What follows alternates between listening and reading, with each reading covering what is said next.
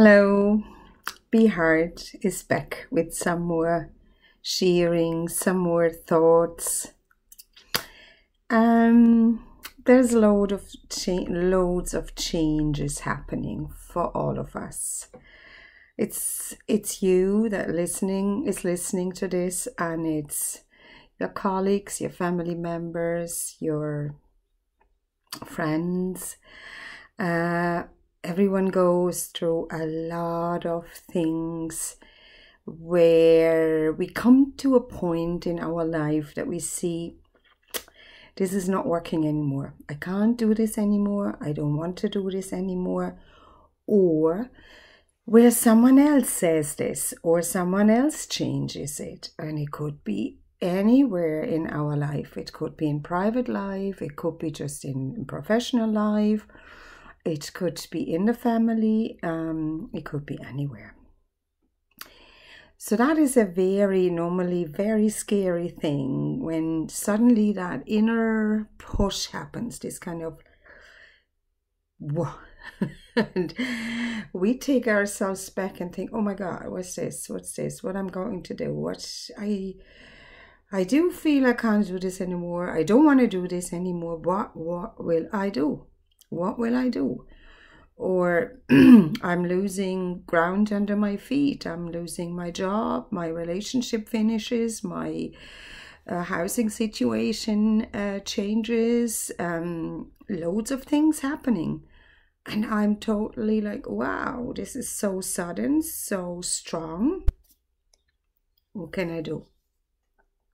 Now, first of all, I'm here to say, look, this is happening to many and maybe to nearly everyone. Um, those that haven't got that change happening in their life right now to that extent, that suddenness, that intensity, they certainly have gone through this before, and uh, and they will later as well.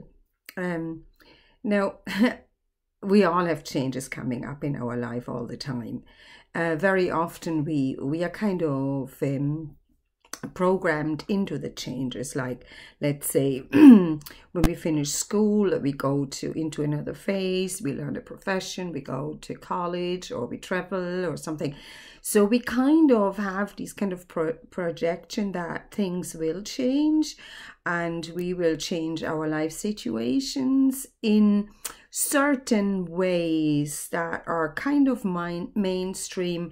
They're mainstream because many go into these changes in this way, and they are mainstream because they are acknowledged and everybody thinks that's normal. So, in this regard, when these changes come along, we don't feel that scared. Still, there's always this kind of thing oh what's going to happen?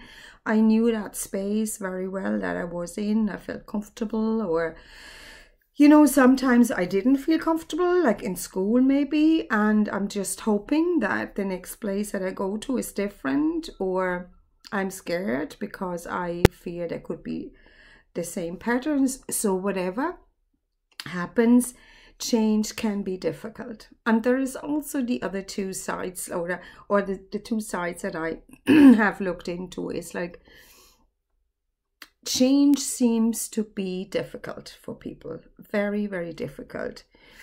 Or sometimes not very difficult, but it always needs quite a few adjustments. So we're hesitant. So, on the other hand, there is this kind of same old same old. Oh what what should ha- if you ask someone and say what's going on? Oh there's just that same old same old. Really boredom really kind of depressed um uh statements that people that have no drive that don't expect any joy anymore that feel like oh, this is it till the end of the life. And it's always really, really depressing to hear that, even like when someone talks like this. My heart always goes out, and I'm like, oh my God, this is, oh, this is really, really hard. This is really difficult. I can't, I can't imagine myself to have such a perspective and to live such a life. so I guess my my sitting here in front of my camera talking to you is to just give you an idea or just shed a little bit of light on the fact that change is normal in life, always happens, always has to happen. Otherwise, we would not go anywhere. We would not change anything at all. Like, think back 15 years, 20 years. What was common ground? What did we eat? What did we wear? Which technologies were we using? was it normal that we kind of lived this the way that we live now? No, certainly not. Certainly not. And some of us certainly were those that started these trends or that dared to be different, that dared to do things in a different way. And um, this is, is the situation that we are in at the moment. Oh, there is so beautiful ducks flying over. I wanted to film them, but I didn't get them. Um, so anyway, change is normal. And if you are sitting in the middle of change right now and you feel uh, you have no no orientation, you don't know what to do, your whole uh, your emotions are really coming up big time, like anxiety, um, uh, feeling lost, feeling feel, feeling not loved, feeling um, disconnected, confused, um, rejected, maybe even. Um, just know that you are not alone but also know that there is ways to deal with this. Now, when you are in a situation like this, that there is this kind of uh, mind running wild, emotions coming up really, really strong, which is what I hear all the time, then please sit down, take a piece of paper, and make a list of all these fears, emotions, concerns that you have. List them all. So you can look at them. So this way you admit them as well, you acknowledge them. You're not fighting them to the same extent anymore. And then maybe it is shortly after, or let pass a day or some hours, whatever feels right. Sit down and try to find a different aspect to it like which way could i look at this maybe? Like if you have to move place you know whatever. Look at this. Or what could be a possible solution or possible solutions? Write them down. Who could i talk to? Make some notes behind all these things. So bring them a little bit out of your of your system and just make them a task. Make them something that you can look at and work with. There is many, many solutions. With the work that I do, I can say that all the emotions that are coming up, they're mainly all they're all fear-based. All of us have these fear-based emotions. I have them as well. I have been working on these blocks, as I call them, for quite some time, years, but have intensified my work on looking at these things and releasing slash integrating them, which has brought me forward quite a bit because I have seen that the the more I consistently do, it's like pulling the weeds in the garden consistently the the the better I do, the stronger I am, the more stable I am, the more I can be uh, happy, the more I can be of service to others. So I do know that these um, these actions that I take to work on my own emotional issues and on my on my fears do actually help. The problem is arising when I do try to push them away, when I do try to go to that one doctor for the pill or to that one workshop or to the healer or to the tarot reader, uh, trying to get information and think when I have that information, it's done. No, that is not the way it works. Definitely not. And I'm not the only one saying that because it is not the way it works. Our life is a journey, and things have happened in this life on this journey. And we can work with whatever is in our system and turn it around to our advantage. We always, always learn something from these lessons. It's just not visible at the time when we're in the middle of the storm, so to say. So don't allow yourself to believe that when you go to this one person expert, whatever, it's going to be resolved. No, no, no. It's not working that way. It is your path that you can walk.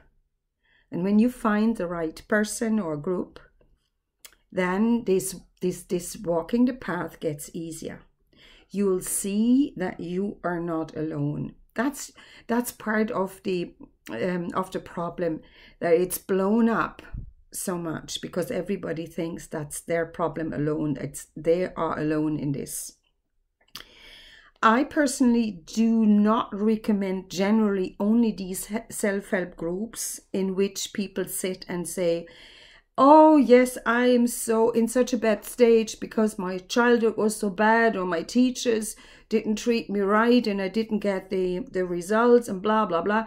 So I'm not recommending for, for, for a successful resolution of difficult life situations to go and blame others.